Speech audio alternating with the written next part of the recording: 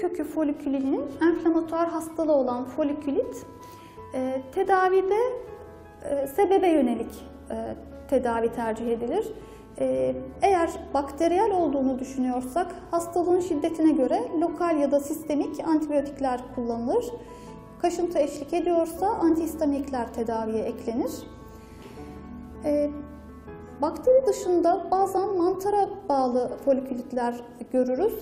E, bu durum e, mantar enfeksiyonuna yanlışlıkla kortizonlu merhemler sürüldüğünde başımıza gelir. E, bir de e, steroid aknesi dediğimiz e, yüksek doz steroid kullanmamız gereken hastalıklarda e, yan etki olarak, ilacın yan etkisi olarak e, kıl kökü iltihapları oluşur.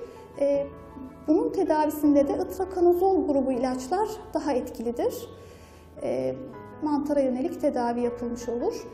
E, akne rozesea dediğimiz yüzde kızarıklıkla giden e, sivilceli bir e, hastalıkta da e, tedavide metronidazol kullanırız.